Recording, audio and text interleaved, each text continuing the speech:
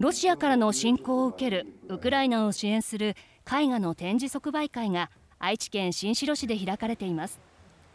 会場の旧角谷小学校には長野県飯田市在住の洋画家山本武雄さんがウクライナの現実や平和を願って描いた作品やウクライナで絵画を学ぶ学生ら7人の作品が展示されています。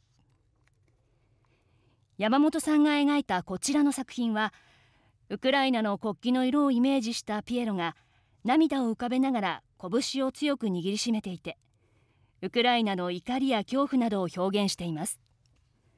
この展示即売会は今月7日までで売上の一部がウクライナの支援に役立てられます。